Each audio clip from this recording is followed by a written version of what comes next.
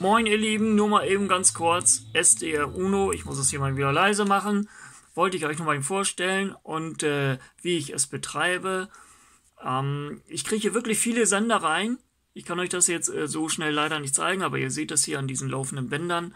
Äh, da sind äh, zum Teil Sender dabei, richtig schön starker hier. Und das Ganze mit nur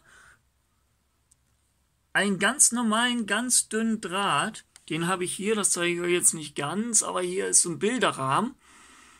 Der ist so äh, 30 mal 60. Da habe ich das drum gewickelt, ganz einfach. Sieht man fast gar nicht. Bisschen mit äh, Tesafilm oben drauf gepappt.